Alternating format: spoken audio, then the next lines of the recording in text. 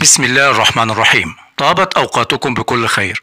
يا رب تكونوا في أطيب صحة وأحسن حال. اتكلمنا قبل كده عن طرق فعالة وممتازة لتنظيف الجسم والتخلص من السموم وتحفيز الأعضاء والفلاتر الطبيعية الموجودة في الجسم علشان تقوم بوظيفتها في طرد السموم وفلترة وتنظيف الدم. في فيديو النهاردة هنشوف الأعراض والعلامات اللي بتخبرنا بأن جسمنا مليان بالسموم.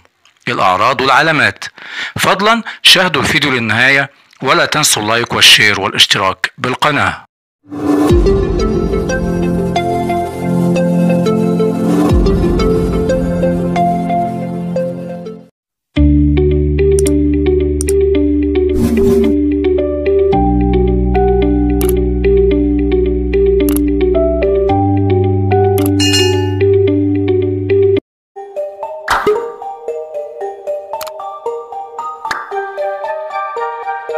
وسهلا ونكمل كلامنا. في عشر علامات أو أعراض بتخبرنا إن جسمنا مليان بالسموم. لازم ناخد بالنا كويس من العلامات دي علشان نبدأ في خطوات التخلص السريع من السموم. تراكم السموم في الجسم ممكن يعمل التهابات في الأنسجة والجلد والمعدة والجهاز التنفسي اللي ممكن يتصاب بالالتهابات والربو. وأيضا السموم ممكن تؤدي لحدوث أورام في الجسم أو طفرات بيولوجية أو عقم. ونشوف مع بعض أبرز وأوضح العلامات والأعراض اللي بتخبرنا إن الجسم مليء بالسموم.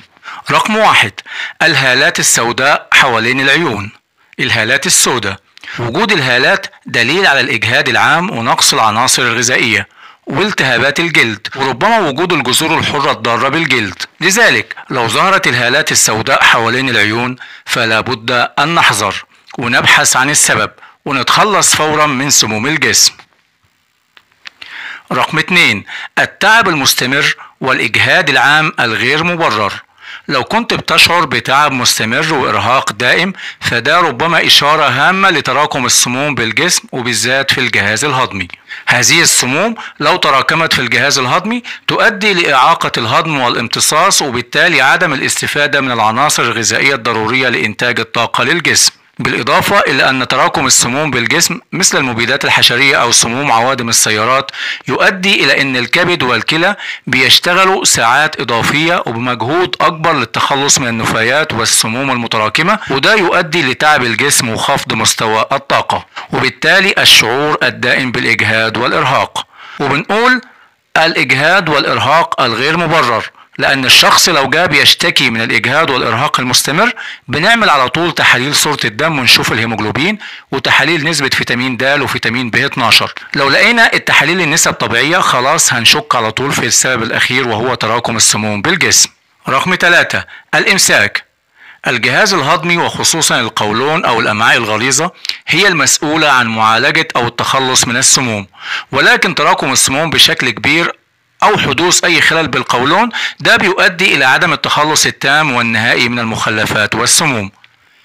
ده يؤدي لتراكم السموم على جدران الأمعاء الغليظة وبالتالي حدوث الانتفاخ والإمساك الشديد الذي يعتبر من أهم أعراض الإصابة بالسموم.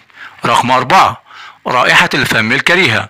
لو كانت رائحة الفم كريهة ومستمرة بالرغم من التنظيف المستمر للفم فلا بد أن نشك في أن السبب ليس من الأسنان أو الأسباب الموضعية بالفم لكن المشاكل هي مشاكل بالجهاز الهضمي تراكم السموم بالجهاز الهضمي. وعند تناول الكربوهيدرات فإنها أثناء الهضم تتحلل إلى السكريات التي يتم تخمرها بواسطة البكتيريا الموجودة في الجهاز الهضمي.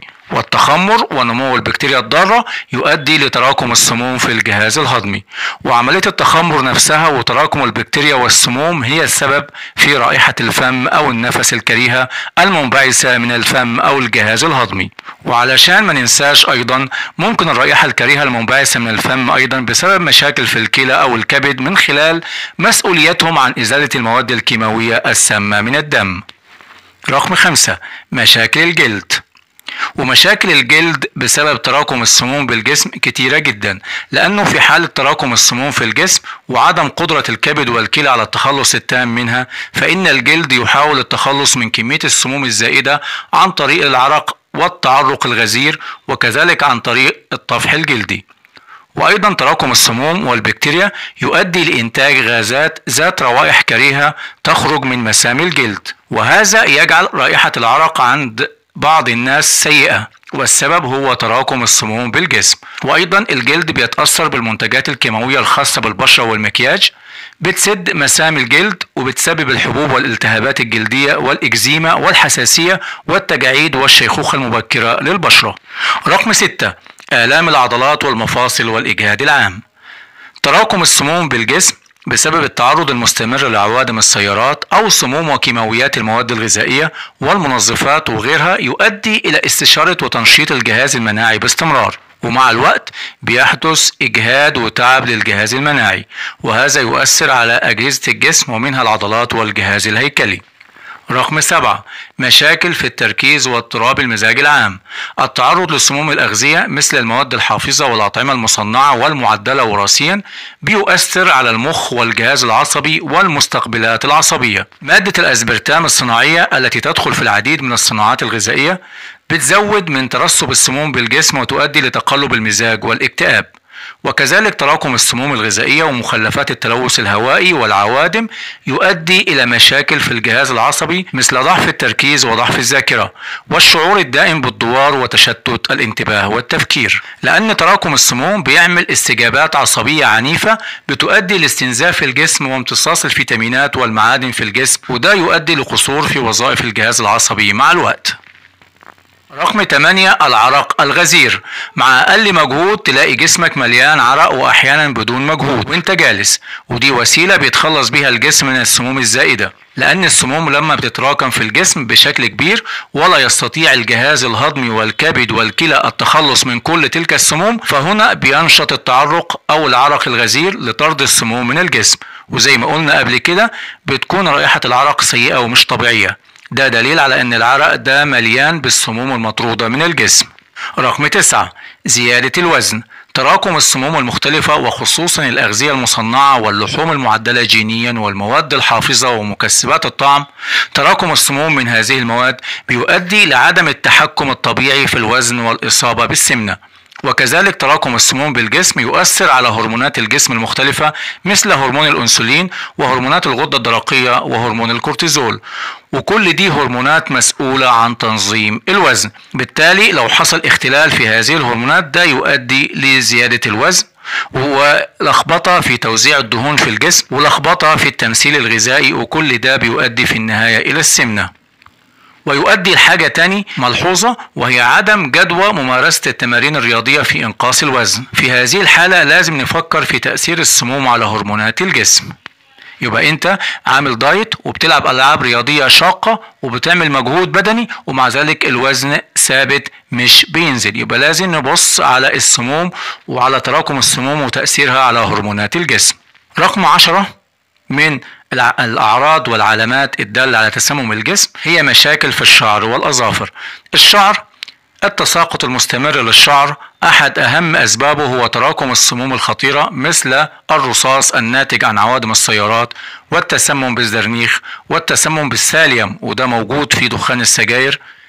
هذه السموم بتتفاعل بداخل الجسم وتؤدي لتساقط الشعر ومشاكل أخرى خطيرة. أما الضوافر الأظافر فلو أصبح شكلها متغير وفيها إصابات متعددة بالفطريات وأصبحت هشة أو سهلة الكسر فده برضو دليل على تراكم السموم في الجسم وتأثيره على الضوافر. دول عشر علامات مهمة جدا بتكشف لينا بشكل كبير عن تراكم السموم في الجسم. وأنا بنصح لو أنت كنت بتشعر بالإرهاق والتعب والإجهاد المستمر الغير مبرر. الغير مبرر يعني ما فيش سبب. زي ما قلنا ما فيش شغل كتير ولا إرهاق ونبطشيات شغل كتير أو ربة المنزل مثلا. ما فيش شغل كتير بالدرجة اللي تخلي جسمها مكسر وكل آه ومرهق. وطبعا ما فيش أعراض برد. هنا بيبقى الإجهاد والتعب ملوش سبب. هنا لازم نحط في دماغنا إن السموم ربما تكون قد ابتدت في التراكم ولابد من عملية تنقيط وتنظيف الجسم من السموم. السموم بتتراكم إزاي في جسمك؟ من التعرض للملوثات البيئية في الشارع عوادم السيارات الكتير ومن الأنظمة الغذائية السيئة. آه وبالنسبة للناس اللي بتاكل اللحوم المصنعة زي اللانشون والبرجر وغيره واللحوم والأغذية المعالجة جينيا والأغذية المليانة بالمواد الكيماوية الصناعية ومكسبات الطعم والرائحة والمواد الحافظة. كل ده بالإضافة للتعرض للضغوط العصبية اليومية كل ده بيؤدي لتراكم السموم بشكل كبير في الجسم. عملية تنقية الجسم من السموم أو بيسموها ديتوكس أو detoxication ضرورية ولو مرة كل ست شهور. وقبل عملية التنقية أو الديتوكس دي لازم في إجراءات وطقوس لازم تعملها. قبلها بكام يوم كده لازم. نعمل إيه؟ نتوقف عن تناول اللحوم الحمراء أو اللحوم البيضاء أو الأسماك وبرضو أثناء عملية التنقية. وكذلك نتوقف عن تناول الألبان ومنتجات الألبان. كل الأطعمة دي بطيئة في الهضم وتحتوي على مادة الديوكسين وده مادة سامة ومسرطنة بتأثر بشكل كبير على الجهاز المناعي وبتأثر على هرمونات الجسم. وأيضا ممنوع تناول اللحوم المصنعة والسكريات أثناء عملية التنقية من السموم.